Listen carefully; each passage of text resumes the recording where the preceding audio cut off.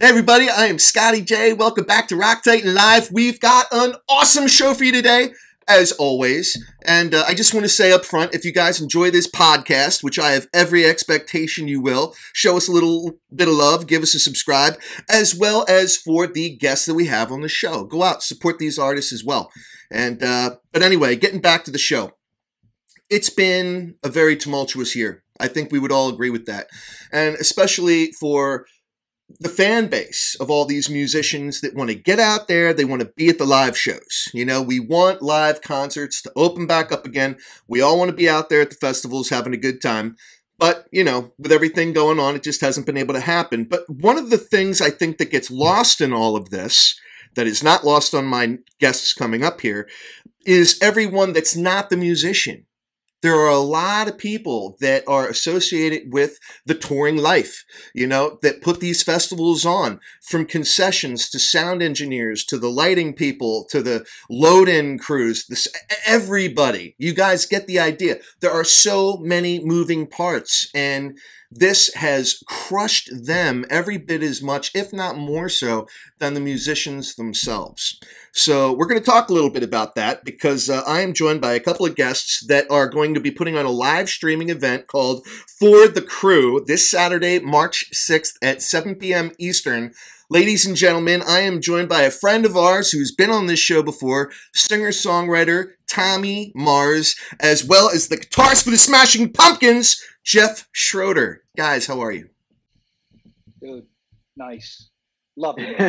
yeah, Good. doing well. Thank you. Thank you for having me, Scott. Well, it's an honor to have you on the show. Tommy, I saw you taking notes there, man. Oh, I mean, I don't know how you intro that whole thing right off the cuff, dude. You're you're a rock star, man. Oh, stop it, man. Awesome. Yeah, yeah. And then I watch all of your, uh, you know, podcasts that you put on because everybody, Tommy, you know, he's he, he's a podcaster himself, and you've got like thousands of views like the minute it's over. You know, for me, I have to, uh, you know, get. I'm running out of vital organs to sell. All right, so you know, I bribe everybody. oh man, but uh, no, guys, thank you, thank you so much for joining me on Rock Titan Live today. And Tommy, I, I have to thank you for bringing this most noble event, you know, to my attention, to the audience's attention, for the crew. Um, I guess before we get into the details of that, how did you and Jeff meet up? I know you guys got some collaboration. You're both, you know, guitarists. You know, how did you guys well, meet up? Actually, we met in person last year in LA. Well, it's over a year now in LA. Uh, it should have been again this year, but COVID knocked out NAMM this year. Uh, or you know, I knew it was virtual, but you know, not in person. But you know, th- this kind of was the way it worked out. You mentioned Lzzy Hale earlier. I, I I know that she had done some stuff like this, but you know, Jeff and I were we just to be honest, I mean, we've been like talking about 20 different things. If we're like a computer, we have 20 folders open right now between us. Between That's true. That is true. like, yeah, I, true. like I have to go through and swipe here, you know, when this thing's over. But you know, uh, he he has you know guitar tech, and we, we were talking about all of these things going on, you know, with um, the touring crew members. You know, there's a great women and men out there that are just getting killed by this this pandemic. They're not working, and we kind of just were talking about it, and it just seemed like I think once we everything was out on the table, it seemed like a no brainer that you know this would be really cool if we could do this and let's start asking people if they want to do it. And the first person I called after uh, Jeff actually was Kevin Rudolf. So awesome. who you know as well. Yes, we had Kevin Rudolf on the show. Yes, that was a lot of fun. That was very cool. Yeah, you know, um, when Tommy called and and asked about doing the show, I was, of course, it. I mean, I was like immediately like, yes. I didn't even. I, am pretty sure I didn't give you like, hey, let me think about. it. I said, let's just do it, and we kind of just. Well, I mean, we had to obviously figure out like all the logistics of it, but um, right.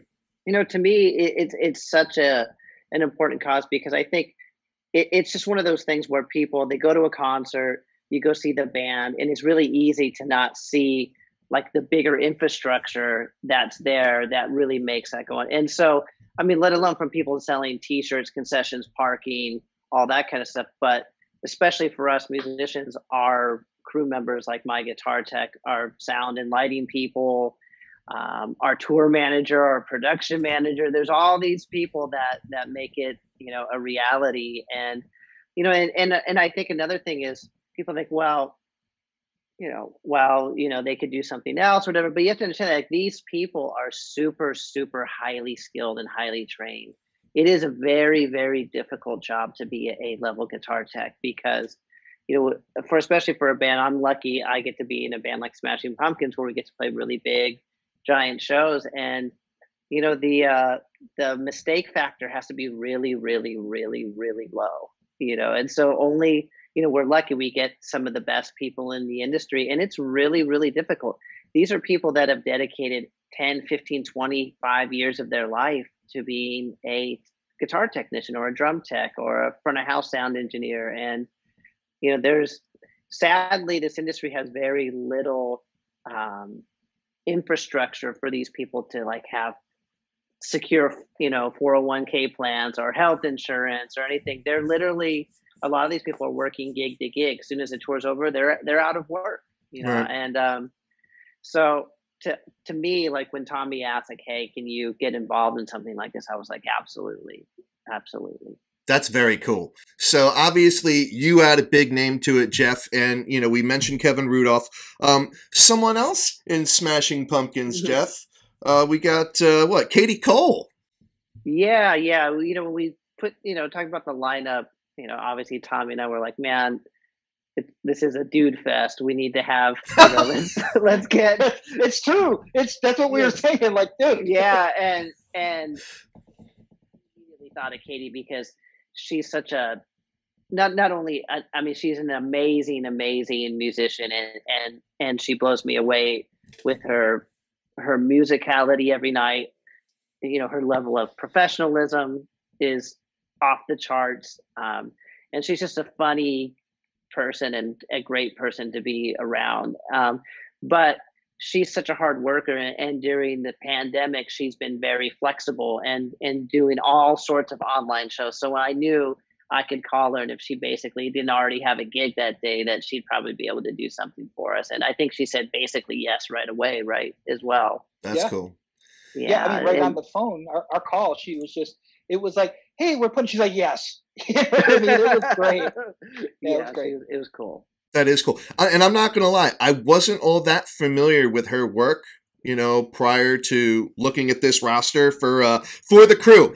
Everybody, again, for the crew. And it's not and, and it's not Mötley Crüe, it's for crew members. Right. the crew. Right, yeah. Thank you, Jeff. Thank you. Just so there's no confusion, this isn't for Mötley Crüe. This is for the crew. All right. Everyone associated with, you know, making sure that musicians like Tommy and Jeff and Katie and Kevin can all do their jobs without having to think about all the little things, you know, that uh, they don't necessarily want to have to spend their time on. You know, someone's going to tune up their guitars, their basses, replace the strings in a moment. You know, when something busts live on stage. You guys, anyone that's ever been to a live show, they see all these moving parts. I just don't know that they necessarily appreciate. You know, yeah. and uh, you know it's tough. But uh, yeah, Katie. So I was checking out her work, and man, alive! I mean, what a beautiful voice, you know. And I know that uh, you know she plays bass with Smashing Pumpkins, um, but man, she could play that guitar, and uh, she's beautiful to boot. So yeah, like you said, I mean, to break up the monotony of you guys a little bit. I don't think you guys did too bad there. Now, uh, whose whose idea ultimately? Tommy, was this your idea to put this together? Yeah, well, yeah, sort of. You know, it's weird because it, it was almost like a idea. So you can admit you can you can take the it was it was Tommy's idea. Oh, He's uh, very right, humble. Okay. Yeah, well, no, it was, but it was almost like uh, it was almost like a perfect storm, like in a way that Jeff and I were talking about his guitar tech, and I had just gotten a call from one of my guys actually that helps me with shows and stuff, and it was it was talking about unemployment and stuff, you know, just talking about like that sort of thing, and it right. just you know, I got off the phone and I felt horrible, you know, because like if I play shows or if I tour, this is somebody I like to have with me because this is somebody I trust. I know that like my mic's going to be in the right spot. You know, I know it sounds crazy, but those are like really important things. Like absolutely, for instance, like the where my mic is placed, it's very important that I don't have to keep adjusting it because I like to jump, and if I jump and come down to my tooth, it's over. You know what I mean? So like right. it sounds crazy, but that's an important part. So I felt awful after the call, and then I just spoke with Jeff just about his his guitar tech, and kind of it didn't take long to kind of formulate, and I was like, I feel like we should be able to do something. And I feel like we're kind of in a position because we both have our social channels. I mean, people have been asking me a lot, "Hey, are you going to do one of these online shows? Can you please play some of the songs from Chasing Light, even just on your acoustic guitar?" And then I was like, you know what? I'm going to ask Jeff if he's if he's up for something like this because I think it could be something that's really worthwhile and fun. Yeah, yeah. Speaking of Chasing Light, and everybody, that's the latest album from Mr. Tommy Marz here. But uh, it did pretty well on the uh, on online sales. I was looking, uh, yeah. you, you know, as far as charting wise, you uh, you know, certainly up there in Thank the top twenty. Kudos to you, man. Thank you. Uh, you know what the crazy thing with that is? It keeps going in and out, and uh, that's really uh, for me. It's a rare thing. Like usually, it it's there the first week, and then you know, see you later, never hear from it again. But yeah, man, it it kind of goes in and out, and it's such a blessing. I just for people to hear it and then asking me about a certain song. Hey, what does this mean? Or is this about your dad or something? It's it's touching. It's yeah, no, that's awesome. Well, all right. So I'm curious about the logistics of this because obviously this is not live in front of a studio audience, right? This is you're going to be streaming this from now. Are you all going to be in your own remote locations in your own studios doing this? How is this exactly working? What what is the audience to expect? Either one of you, I guess. Jeff, Jeff, Jeff. Yeah, Jeff, go well, ahead. Basically, you know, because of the logistics of it, you know, uh, it has to be done beforehand. You can't you can't actually stream it on No NoCap live, like so. We have to turn in our so we basically have already put together the performances. Okay, all right, very cool. Yeah, yeah. So it's not live in that way, but what I can say is all the performances are unique to this show. Okay. And over the course of the last, I don't know, six weeks or whatever, we really started to take it seriously. It, it shaped, it turned into something um, above and beyond, like actually what our initial expectations were. Uh, the amount of, of of special guests that were willing to participate um, was just kind of mind blowing. And I think, you know, that's real testament to Tommy's heart is I think that when you have a good idea that's pure in intention, they tend to blossom and grow. And that's what happened with this. So, um, as far as I'm concerned, what has been so cool about um, like what musicians have done during the pandemic is that it's created all these scenarios that would never be able to take place you know right because of people would be on tour people you know just wouldn't have the time or honestly probably the desire to do it but because of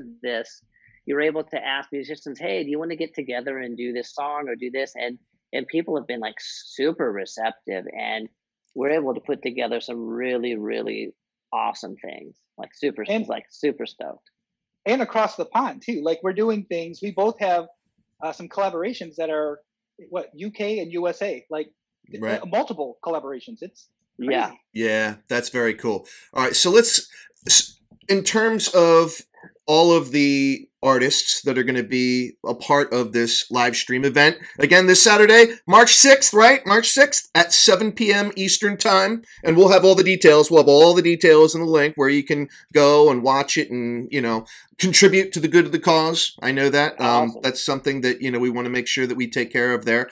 Um, but so obviously, you know, Tommy, Jeff, Kevin, Katie. Are there any other artists that are a part of this? Oh, yeah. Yeah. I mean, many, many. Okay. Do you, want? Can you want to give one away?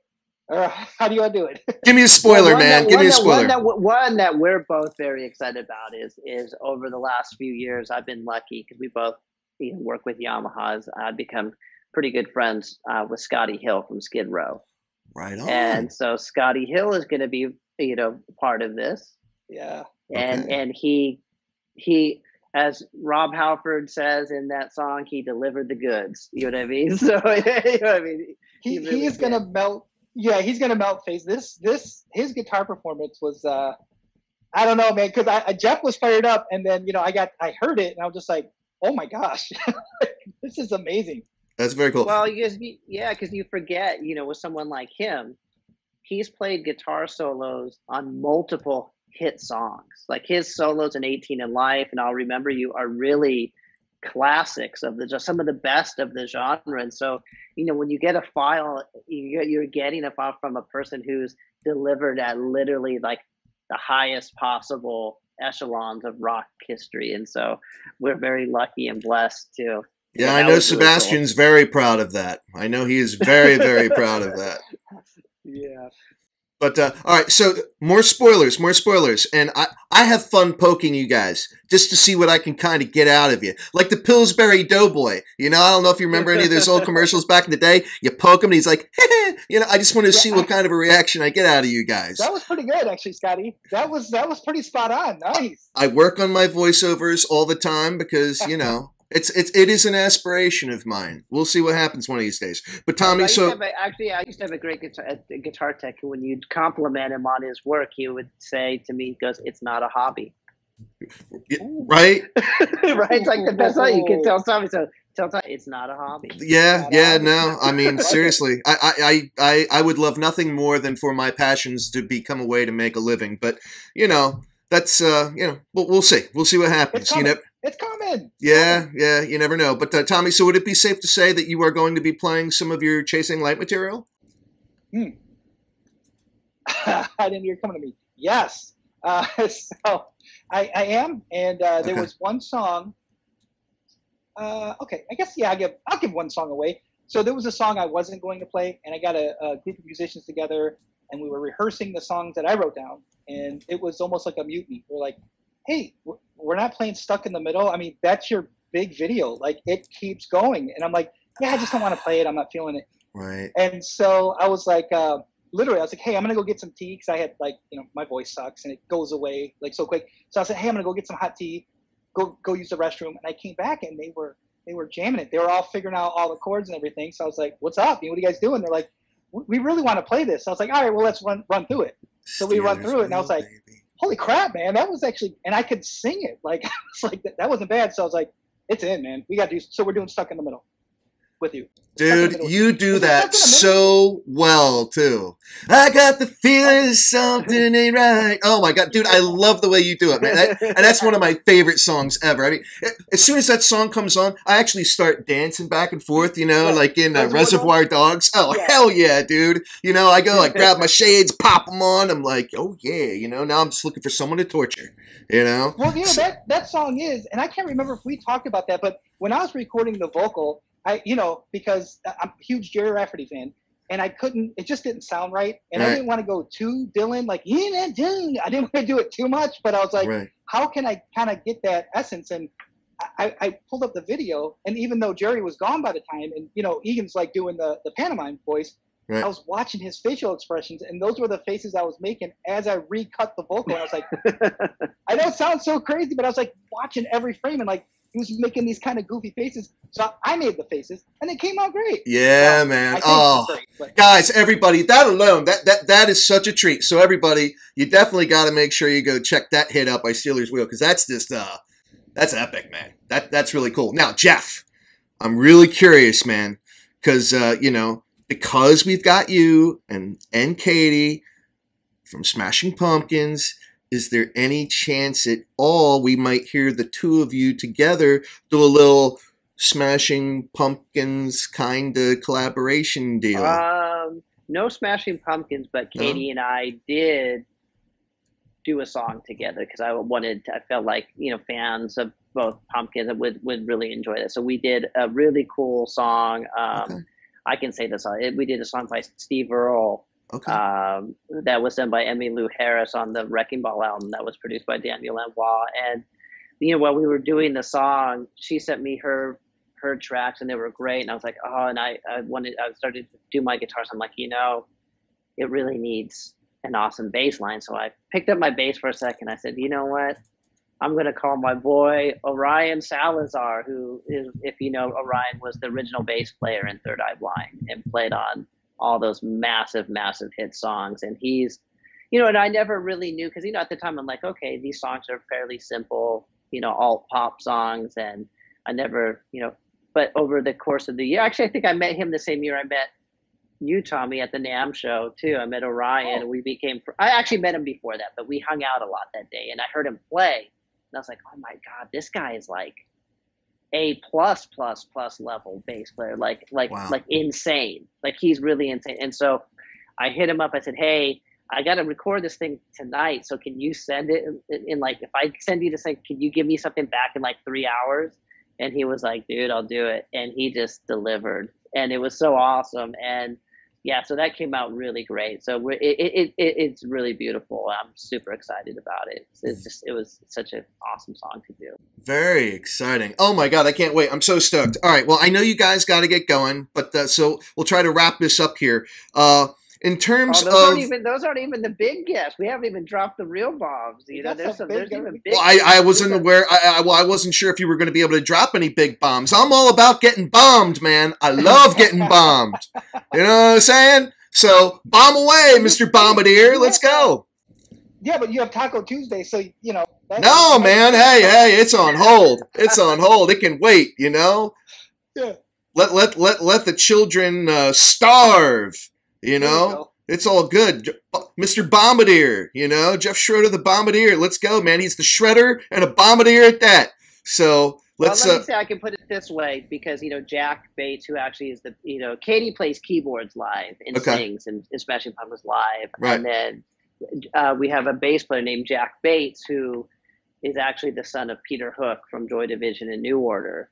Right on. And so we um, through I, I was like, Jack, you know, I want to do a couple tunes with you. And then he was like, well, why don't we ask my dad? So we actually got Peter Hook from Joy Division New Order to do a song, and it just came. It, it's it's amazing. It came out so good. Nice, nice. Now I'm hearing a lot of dudes here. I'm still hearing that Katie is is is the only woman involved with this. I am going to assume that she is not the only female involved with this streaming event. Any other ball. Any other ladies of note?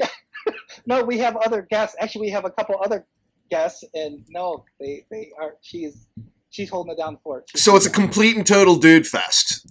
You've subjected Katie Cole to an absolute testosterone zone man, it's a good thing this thing is all, uh, you know, like remote, you know, and everybody's not exactly. crammed into one room, you know, because exactly. everybody's been, exactly. everyone's been socially distanced and quarantined for so long, man. you know, yeah. you know, and the thing is, to, to our credit, the one thing I will say is because, like, I always, I was like, I'll take the blame on stuff, but to our credit, to Jeff and I, we have been, we're, we're kind of like the center of this thing, and it's been insane. It's the, probably the one that for my life has been one of the most insane things I've ever been a part of because it's not just like setting up a show or practicing your set. There's, I mean, literally some of our conversations. Hey, bro, I got to send you this file. Or all right, I'll talk to you a little bit. Like, it's quick stuff like that because it's so fast. There's so many things going on, and then getting files from another country where they're five hours ahead.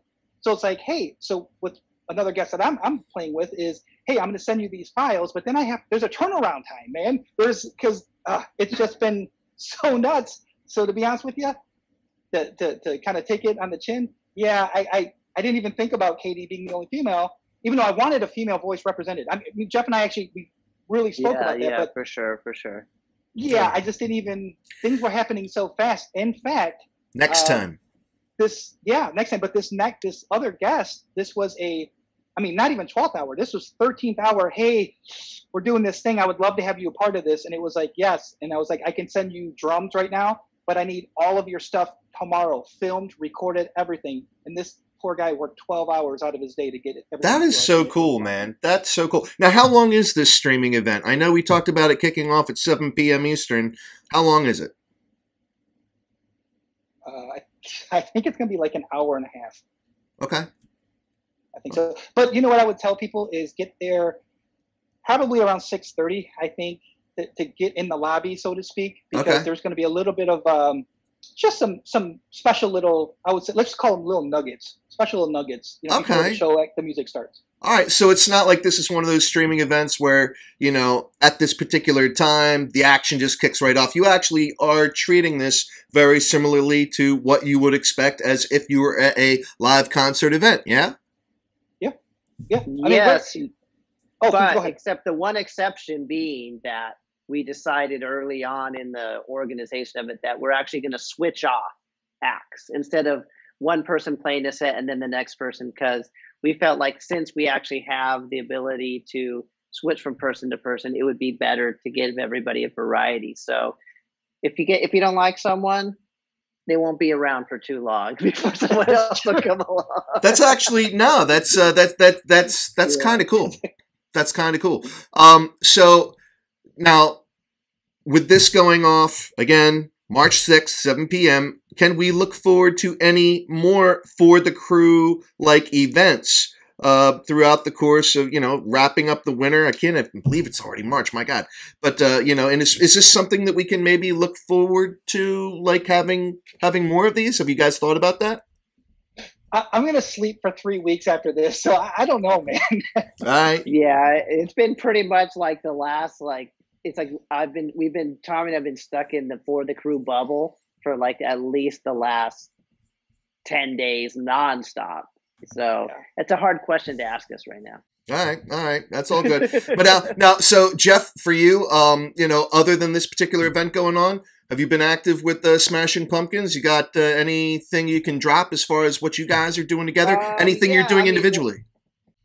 Well, yeah, we um, did a, a, new record came out on Thanksgiving, Cyr, um, and that came out, and uh, we actually have been working on even another new album. And so uh, Jimmy Chamberlin is actually in Nashville today, you know, at, at, at a studio tracking drums, you know, for the next couple weeks. But we've been exchanging, working on kind of like the demos of that um, cool. over over the interwebs, you know. So yeah, so in addition to doing for the crew, I've actually been working on this Pumpkins record too. So I, like I said, I, when I wasn't joking when I said like I really pretty much just live in here right in on. this room. Um, so we do that. Um, I've recorded actually a solo song too that's mixed, mastered, and I'm uh, as soon as basically I move past it, I'm going to work on getting the video done for that as well. So there'll be so I have a solo song coming out, and I'm trying to work on actually a solo album for the rest of kind of the pandemic